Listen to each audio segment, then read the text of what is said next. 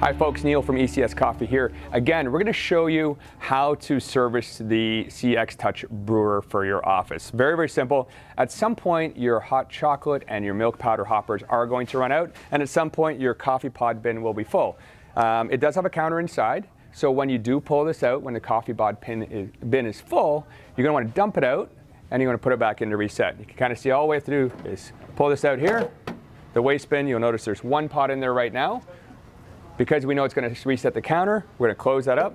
It says, please replace waste bin on the top. And it can go right into your compost. Um, the other thing you need to know is the drip tray, which is actually separate from the bin, can pull out like so.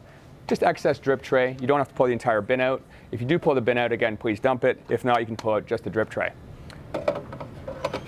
The other thing you're going to need to do is refill the milk and hot chocolate powders. Very, very simple to do, easy steps. All you have to do is open this side door here, and you have access to your hoppers. The hoppers have little spouts. Turn them up and pull them out. We're going to actually fill this one up here.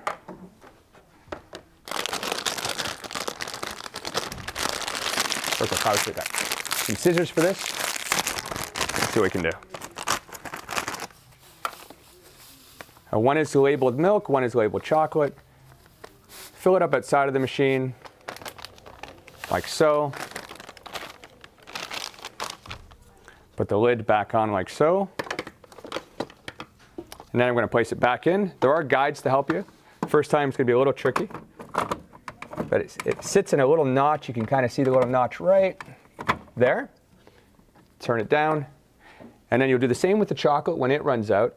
And the machine will prompt you, you'll notice on the front, to please rinse the mixing bowl, press rinse button until water runs clear. And it's gonna force you to every time, so that cleans out the, the mixing bowl hoppers, and it just kind of forces you to do that. So all we do is we place a cup under the spout, and this rinse button right here, we're just gonna press and hold that, and what it'll do is run water through this mixing bowl and into our cup.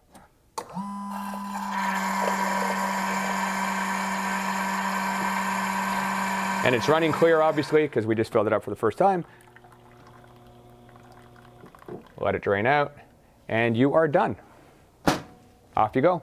Back to brewing your favorite coffee or hot pepper.